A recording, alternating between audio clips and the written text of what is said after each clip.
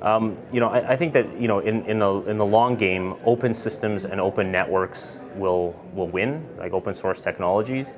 Um, you know, should should the uh, UN declaration be updated? I mean, certainly, uh, you know, digital uh, life, right, has you know become increasingly important in the last you know 10, 20 years. So I would say, yeah, we need to reflect that.